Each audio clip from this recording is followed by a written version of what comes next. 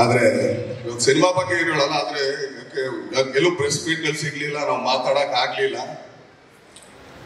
ಆದ್ರೆ ಕೆಲವು ಕ್ಲಾರಿಫಿಕೇಶನ್ ಕೊಟ್ಬಿಡ್ತೀವಿ. ಅದಕ್ಕೆ ಈಗ ರಾಮಮೂರ್ತಿ ಸರ್ ಇಲ್ಲೇ ಇದ್ದಾರೆ ಯಾಕಂದ್ರೆ ಕೆಲವ್ರು ಹೇಳಿದ್ರು ಕತೆ ನಾನ್ ಮಾಡಿಸ್ದೆ ಟೈಟ್ಲ್ ನಾನ್ ಕೊಟ್ಟೆ. ಅಯ್ಯೋ, ತಗಡೆ.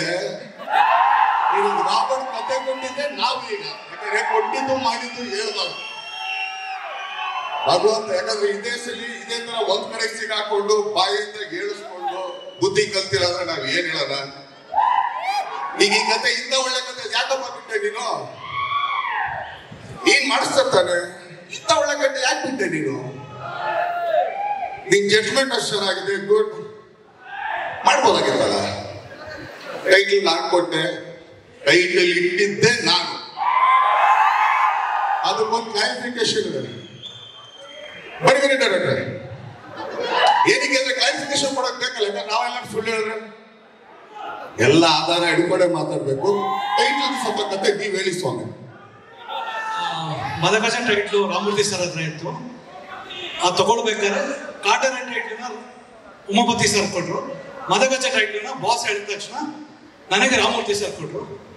Thank you Ramurthy sir. ಯಾಕೆ ಅಂತಂದ್ರೆ ನಮ್ಮ ಹತ್ರ ಇದ್ರು ಕೂಡ ಮಾತಾಡ ಯಾಕಂದ್ರೆ ಕ್ಲಾರಿಫಿಕೇಶನ್ ಕೊಟ್ಟರೆ ಕರೆಕ್ಟ್ ಆಗಿ ಕೊಡ್ಬೇಕು ಅಂತ. ಆ ಟೈಟ್ಲ್ ಎಲ್ಲಿ ರಿಜಿಸ್ಟರ್ ಮಾಡ್ಸಕ್ ಹೇಳಿದ್ದೀನ ಫಸ್ಟ್ ನಮ್ಮ ಬ್ಯಾನರ್ ರಿಜಿಸ್ಟರ್ ಮಾಡ್ಸಕ್ ಹೇಳಿದ್ರಿ.